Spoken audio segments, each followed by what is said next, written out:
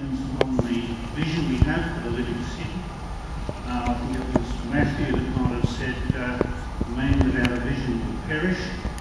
The mayor actually said, uh, "Build it and they will come." So I both had uh, quite a biblical moment there. My question is, um, you see the, uh, the numbers of people coming on the Spirit and also to the airport. But what I've observed over the years is that people come off the uh, Spirit and then do a direct uh, left-hand turn to Launceston or a right-hand turn to Burnie, and the Bass Highway actually acts as a bypass of the CBD. Uh, so I was wondering what plan has council got to uh, maybe educate the people on the Spirit and even the people coming into the airport that we do and will have such a vibrant uh, CBD and they should make it their first port of call they continue on anywhere else.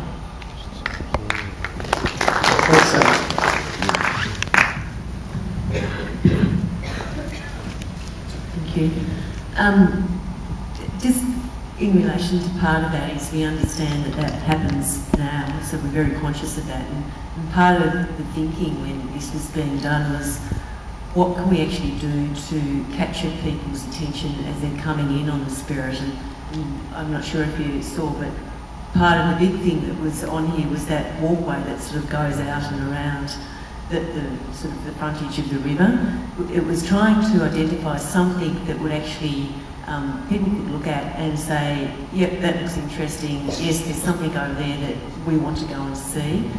So it was, it's a matter of trying to um, have something that is clearly visible for those that are coming in on the ship so that they can see something that might catch their eye and therefore they might come over. In addition to the visibility of it, it's also then about promoting things like the, the marketplace that's there as well and, and certainly having um, fresh produce, whether it's the tuna produce, whether it's the, the vegetables, whether it's the berries, whatever it might be, having that available for people to actually take back on the ship because you'd be aware that whilst people can't bring a lot of that produce into Tassie, they can certainly take it out with them. So there's certainly a lot of capacity there.